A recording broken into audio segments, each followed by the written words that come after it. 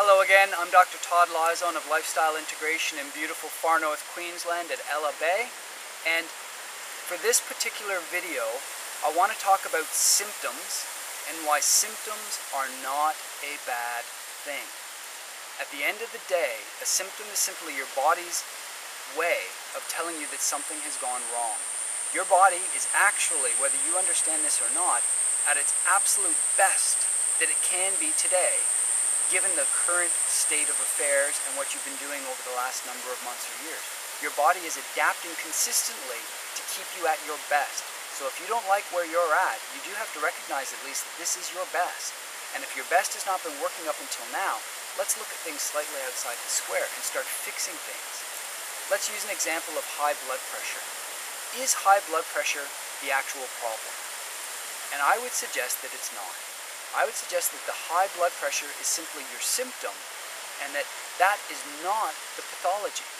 What I would suggest is the pathology is your lifestyle. I would say that we have led pathological lifestyles of poor diet, poor exercise, too much stress, not enough relaxation. It's the pathological lifestyle that leads to our current state of chronic degenerative diseases. And in that scenario, that can be fixed. So with our example of high blood pressure, let's explore why. If we go back a couple of sessions, we talked about the chronic or about the stress response in a crocodile jumping out at you. If you've got a mental stress or a physical stress or more often a chemical imbalance, excess deficiency or toxin that is going on in your body, that would be the cause of the adaptations that have then led to your blood pressure going up. Because if you remember, your adrenal glands produce the adrenaline when you're under stress, the adrenaline raises blood pressure. That is not a bad adaptation. That is a life-saving adaptation. And I would suggest again that if you simply lower your blood pressure with a blood pressure medication, for example, you may technically now be normal, but you just violated all the rules of nature.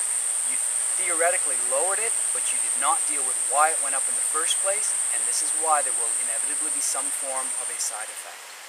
We need to deal with the causes of these problems, not just the symptoms. And we could go on and on talking about many other chronic degenerative diseases today, but if we're really interested in looking at the causes, we need to look at the diet, the lifestyle, supplements, relaxing, looking at all good quality water, all these things. And that's where a good nutritional balancing program using a good hair tissue analysis can help you get on track, stay on track, and actually get well instead of simply making your symptoms disappear. Until next time, keep well.